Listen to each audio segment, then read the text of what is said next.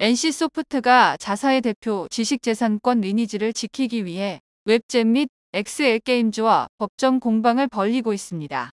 법원이 웹젠과의 1심에서 NC소프트의 손을 들어줬지만 저작권 침해에 대한 혐의는 기각되면서 장르적 유사성에 대한 논란은 다시 불거졌습니다.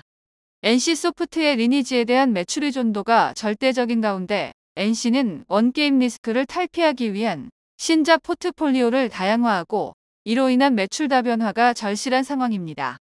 법원은 이번 NC와 웹젠의 판결에서 저작권이 아닌 부정 경쟁 방지법을 문제 삼았습니다. 게임의 구성 요소, 배열 및 조합 등이 비슷하나 다른 게임과 구별되는 창작적 개성이 있다고 보기는 어렵다고 판결한 것입니다. 웹젠 이전에도 유사한 게임이라는 뜻의 리니지 라이크는 성행하고 있었습니다.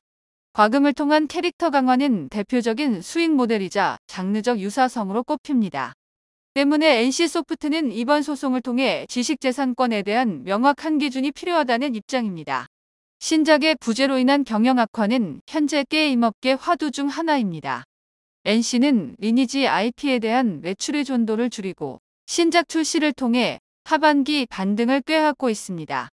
NC소프트 관계자는 다양한 신작과 장르 플랫폼의 다변화를 통해 NC소프트의 게임 라인업이 더욱 다채롭고 지속 가능한 성장을 이룰 것으로 기대한다라며 오는 11월에는 8년 만에 지스타에 참여해 그동안 엔싱을 통해 공개했던 새로운 신작 게임들을 선보이고자 한다라고 말했습니다.